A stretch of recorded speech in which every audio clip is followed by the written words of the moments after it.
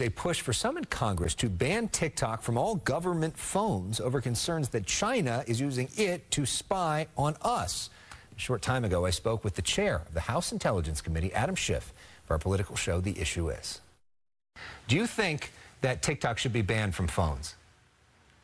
I don't think uh, members of the government ought to use it on their phones. I don't use it on my phone.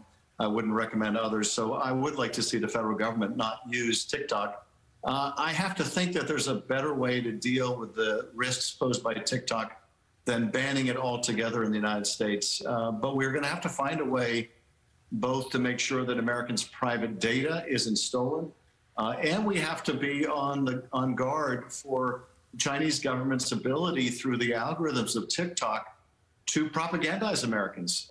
Uh, so we need to address those very real problems. Uh, but I wouldn't begin with, with, saying that the solution is banning it in the entire country. What would you tell your own kids, though? Would, would you say to them, don't have TikTok on your phone? Uh, you know, I don't know that it's realistic for parents to tell their kids not to have TikTok on their phone. Um, but I would tell them that you need to be very careful that your private data, if you use TikTok on your phone, may not be secure.